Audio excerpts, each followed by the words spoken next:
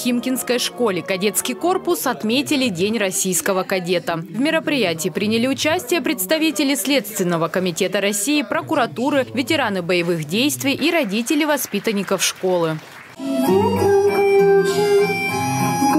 постучала война,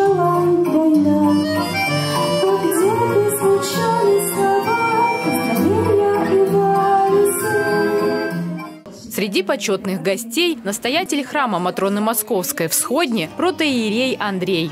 Кадеты – это уже те ребята, которые выбирают для себя путь защитника, защитника своей родины.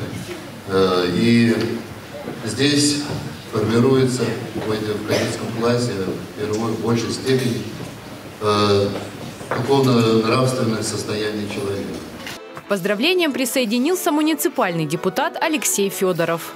Молодцы, ребята подготовились, потому что прежде всего кадеты – это э, люди, которые с детства одели погоны, люди, которые с детства понимают, что такое любовь к родине, защита своих родных и близких.